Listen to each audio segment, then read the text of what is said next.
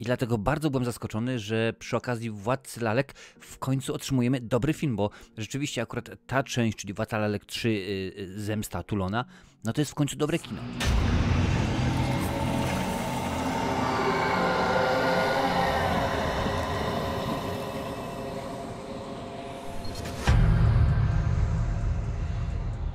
Bo wiadomo, to nie będzie kino wybitne, ale co mi się tutaj podoba?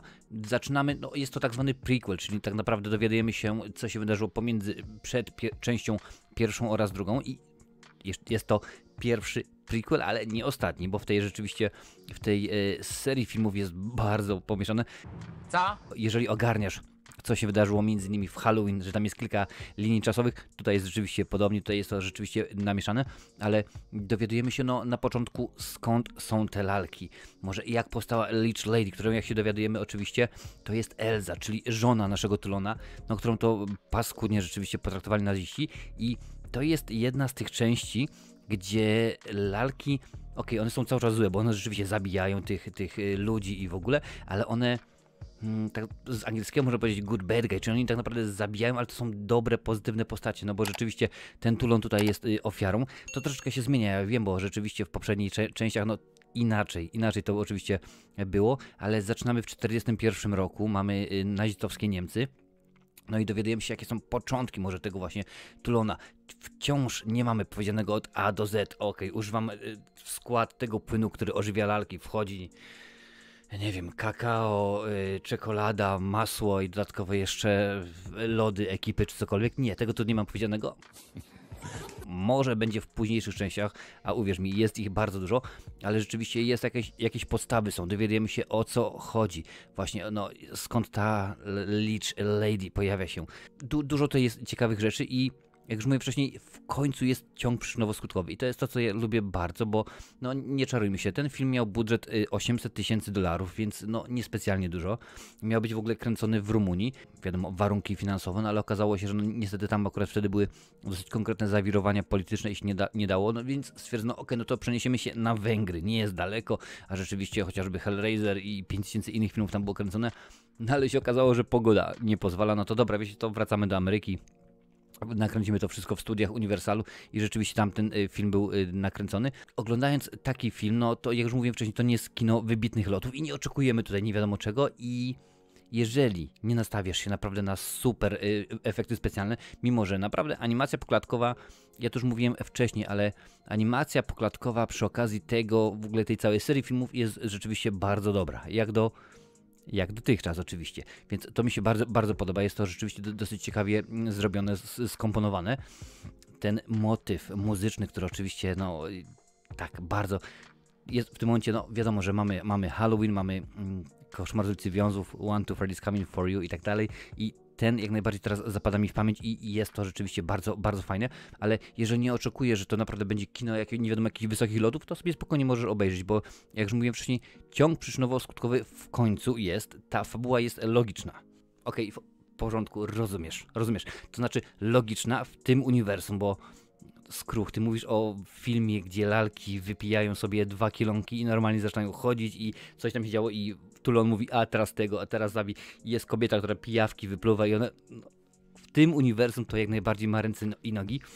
A uwierz mi, do tej pory obejrzałem 7 części, jeżeli chodzi o Władcę, Władcę Lalek, Władcę Marionetek, różnie to e, zwą.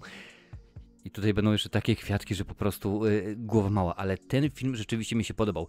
Nie straszy, nie, no ale to też nie jest takie kino, że nagle będziemy oglądali i stwierdzimy, o, ale się przestraszyłem, rzeczywiście, no super, ekstra. Nie, to akurat w nim nie o to chodzi. W nim raczej chodzi o to, że widzisz, tutaj z tyłu jest, jest, jest zwiastun. W nim akurat chodzi o to, żeby pobawić się fajnie konwencją. No nie wszystko zagrało, no bo nawet te akcenty, te akcenty tych oczywiście nazistów, no wiem, no ja wiem oczywiście, że to jest pewna konwencja, to jest wszystko umowne, ale no nie wygląda dobrze. Aktorsko ten film naprawdę, naprawdę nie, nie powala, no ale Mm, jeżeli jedno oko przymkniemy, drugie zamkniemy, może, może być jak najbardziej.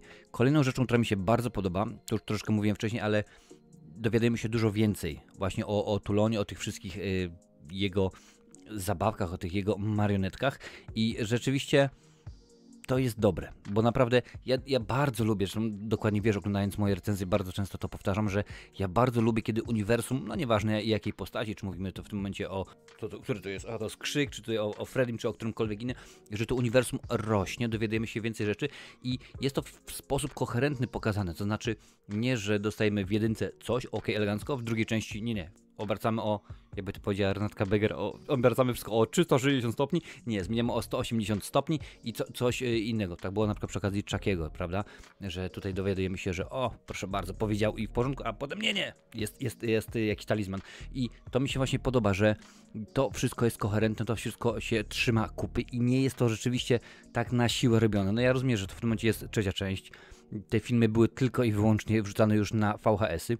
W Polsce dystrybuowała je e, Vision Polska, więc e, no ja pamiętam te filmy właśnie z czasów VHS. Nie wszystkie, bo akurat, w, że tak powiem, w rzucie oryginalnym widziałem tylko i wyłącznie pierwszą, pierwszą część, no ale tak to jakoś było dawno temu, że oglądając teraz powtórnie na potrzeby tych recenzji, nawet ich nie pamiętałem w ogóle, tej pierwszej części, no ale hmm, wtedy się oglądało tyle filmów, a poza tym to było jakieś 30 lat temu, może więcej. Tak, dokładnie tak, taki stary jestem, że pamiętam nawet y, Władcę Marionetek na VHS.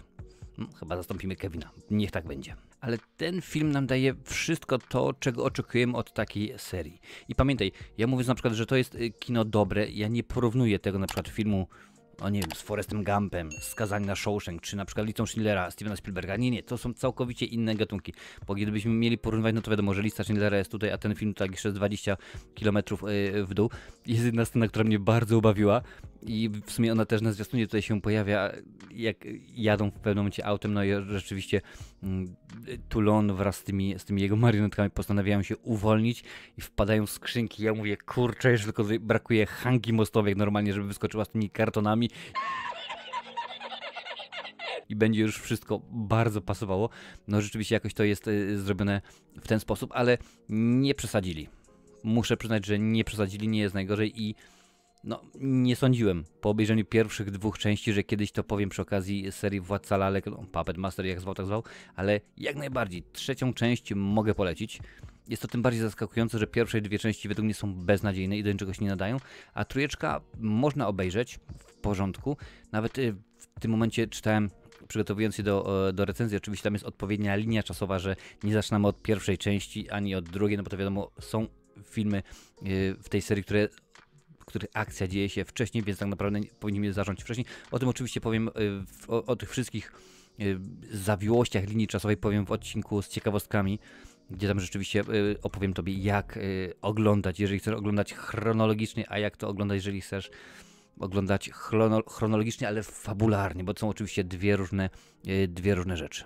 Budżet tego filmu to było tylko albo aż, jak kto woli, 800 tysięcy dolarów biorąc pod uwagę, że cały film nakręcono w 18 dni, przypominam, jednego z Hellraiserów nakręcono w 21 dni, wróć, nie nakręcono, ale zrobiono od podstaw 21 dni, ale to pokazuje, że nawet w 18 dni, w filmie, gdzie no ta animacja poklatkowa dosyć poważnie jest. Ja domyślam się, że oczywiście te, te 18 dni nie uwzględnia tego, bo gdyby tak było, no to y, pewnie osoby odpowiedzialne za animację poklatkową musiałyby pracować 48 godzin na dobę, żeby to wszystko y, zrobić. No ale chodzi mi o główne, że tak powiem, zdjęcia, a potem się oczywiście to do, dorzuca w, postprodukcji, jak najbardziej to można zrobić, ale okazuje się, że no można zrobić dobre, ciekawe kino, niewybitne, już mówiłem wcześniej, to nie jest kino wybitne, ale jest to film, który można obejrzeć i stwierdzić. Podoba mnie się to.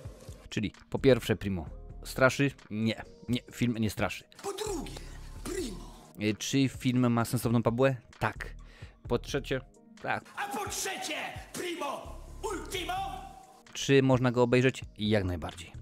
Pierwsze dwie części możesz odpuścić sobie, nie oglądaj, a jeżeli oglądasz to tylko i wyłącznie na własną odpowiedzialność, trójeczka, godna polecenia, godna obejrzenia. Chciałbym powiedzieć, dopiero się rozkręcamy, ale nie no, nie, nie, nie czarujmy się, będzie jeszcze dużo lepiej, albo dużo gorzej. No to już wybierz sobie, co tam chcesz. A jak chcesz więcej horrorów, lubisz się bać, to sprawdź tę listę. Tak, tam takowych recenzji jest całe mnóstwo.